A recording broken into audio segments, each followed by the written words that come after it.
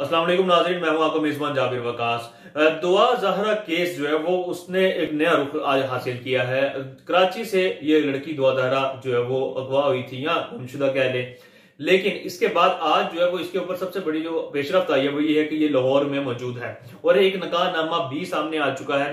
नामे के ऊपर दो एड्रेस लिखे गए हैं। दुआ का अपना जो एड्रेस लिखा गया है, दुआ जहरा का, वो केस जो है उस हवाले से जो जो एड्रेस है वो गलत लिखा गया है, क्योंकि दुआ का अपना तो एड्रेस जो है वो कराची का था, लेकिन उसके ऊपर लाहौर का एक इलाका, शेराकोट, बाबू साबू जो कि मोटरवे से नीचे उतरने का जतीम खाने के पास का एक इलाका है, शेराकोट वहाँ का ये इलाका है, जिसका एड्रेस जो है वो दुआ का एड्रेस के तौर पर निकाह नामे में तहरीर किया गया है। इसी तरह जहीर नामी शख्स, जिसके बारे में बताया जा रहा है कि इससे उसकी शादी हुई थी और उसकी उम्र इक्कीस साल बताई जा रही है वो शख्स जहीर जो है वो इस वक्त जो है उसका एड्रेस वो बताया गया है शेर कॉलोनी रायवन रोड का, जो कि वो भी फेक साबित हुआ है।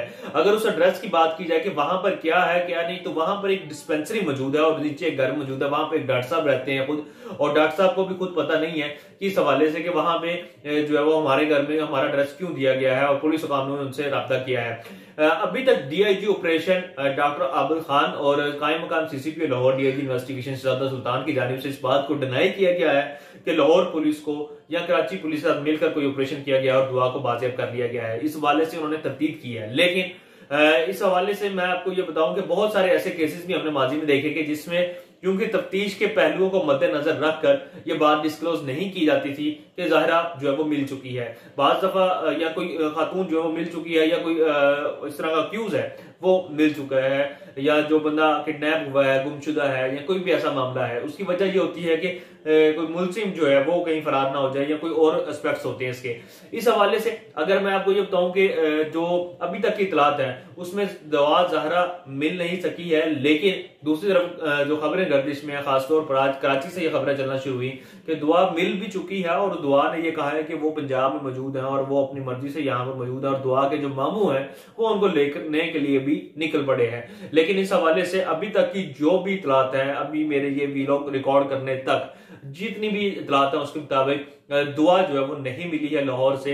और उस नकार नामे पर दुआ की जो उम्र है, वो 18 साल लिखवाई गई है। जबकि कराची में जब वो उसकी गुमशुदा हुई और उसकी जो खबरें चली थी तो उसमें ये बात बताई गई थी कि दुआ की जो उम्र है, वो 14 साल है। पुलिस ने तब भी, कराची की पुलिस ने यह दावा किया था कि दुआ की जो इंटरनेट हिस्ट्री है, उससे ऐसे लगता है कि वो अपने मर्ज़ी से कहीं गई है या निकाह किया है उसने। लेकिन एक सीसीटीवी के बारे में बताया गया कि सीसीटीवी सामने आई है, लेकिन सीसीटीवी बाद में फेक साबित हुई। उसके ऊपर पुलिस ने मुआजत भी की। लेकिन अब जो बात सामने आई है, वो ये है कि एक नकारनामा सामने आया, जो कि लाहौर पुलिस को, कराची पुलिस ने प्रोवाइड किया। उस निकालनामे पर मौजूद तमाम एड्रेस जो है उसके ऊपर छापे मारे जा रहे हैं। नकाब ख्वाज जो है, उसकी गिरफ्तारी के लिए भी जो है वो इस वक्त छापे मारे जा रहे हैं। जिसका एड्रेस जो है वो चार मजंग रोड, नाबा रोड के बिल्कुल करीब एक मस्जिद है मजंग में। वहाँ का ये मौलवी साहब हैं जिनके बारे में बताया जा रहा है। हाफिज मुस्तफ़ा साहब के वो उन्होंने ये निकाह पढ़ाया और उनको भी तलाश किया जा रहा है। अभी तक उनका भी कोई सामने नहीं आ सका। हो सकता है पुलिस की तहवीर में आ चुके हैं और ये भी हो सकता है कि लड़की जो है वो पुलिस की तहवील में मौजूद हो, लेकिन कंफर्मेशन करना, कानूनी तकाजे पूरे करना, दो सूबों की जो पुलिस है, उसका जो प्रोसीजर है, वो मुकम्मल करना और दीगर कई ऐसी चीज़ें हैं जिसकी वजह से ज़रूरी है कि दुआ के मामले के ऊपर जो है वो चीज़ें जो है वो ग्राउंड लेवल पर मज़बूत हों। इसीलिए शायद अभी तक जो है वो तब्दील ही जारी की गई है कि लाहौर पुलिस को जो है वो दुआ नहीं मिली। दुआ अगर लाहौर पुलिस की जो है वो उसमें आप ये कह लें कि तहवील में होती तो यकीनन कुछ ना कुछ चीज़ें सामने आ जाती। इस हवाले से अलग अलग टीमें तश्कील दी गई हैं, क्योंकि जो दुआ का नकानामा है, उसके ऊपर भी उकाड़े का एक एड्रेस मौजूद है। जिसमें वो एड्रेस जो है, वो किसका है? वो नकानामे के ऊपर मौजूद जो गुवाहान है, उनका एड्रेस बताया गया है। इससे यह पता चलता है कि वो जो नकानामा है, उसमें बहुत सारी चीज़ें बोगस हैं और बोगस क्रिएट की गई हैं ताकि इस बात का ख्याल शायद रखा गया कि आइंदा जब अगर कोई ढूँढने के लिए भी निकले तो उसको जो है वो इतनी जल्दी से वो ना मिले। और लेकिन लड़की का जो निकाह है, वो 18 साल के से ऊपर होना ज़रूरी है। और अगर लड़की की उम्र, जो उनके वालदेन है, उनकी उम्र मुताबिक अगर चौदह साल है तो यकीन इस हवाले से जो लड़का है, जिसका नाम मुबैना तौर पर जहीर बताया जा रहा है, वो मुश्किल में आ सकता है, उसकी फैमिली मुश्किल में आ सकती है। लेकिन इस सब में सबसे बड़ी बात है कि जो मुश्किल में है, वो वालदेन है जो कि जहरा के हैं, कि वो इस वक्त शदीद परेशानी का शिकार हैं, दूसरा हमारे माशरती मसाइल हैं।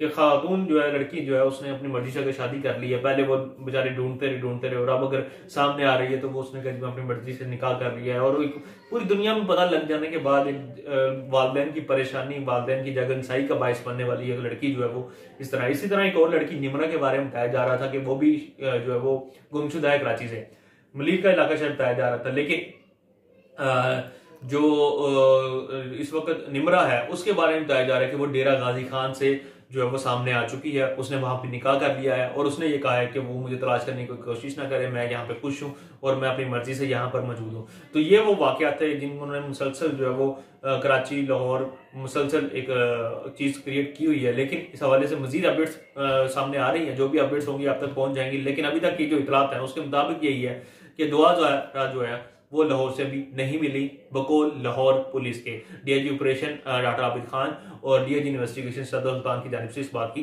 तरतीब की गई है। सिर्फ़ और सिर्फ़ अगर किसी चीज़ को माना गया है तो वो है निकाह नामा जो कि सामने आया है। इस हवाले से जो भी अपडेट्स होगी आप तक पहुँचती रहेंगी। चैनल को सब्सक्राइब करना ना भूलिएगा। असला